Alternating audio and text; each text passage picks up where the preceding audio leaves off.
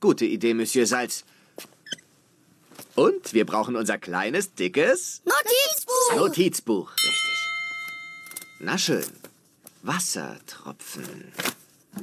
Eine gebogene Linie runter und wieder hoch. Und noch eine und noch eine.